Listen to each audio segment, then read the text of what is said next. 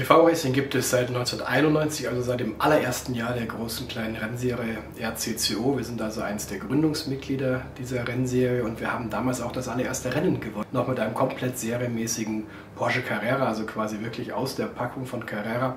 Wir haben damals aber schon bei diesem ersten Rennen gemerkt, dass das so nicht weitergehen kann.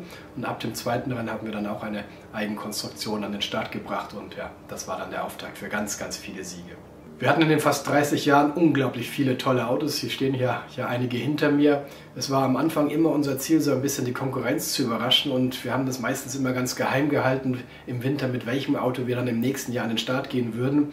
Das war dann immer die ganz große Überraschung. So kam dann irgendwann zum Beispiel der Opel Calibra V6 aus der DTM. Den gab es noch gar nicht als Modell. Wir haben es geschafft, ihn zu bauen und zu entwickeln und auch Unterstützung damals von Opel zu bekommen.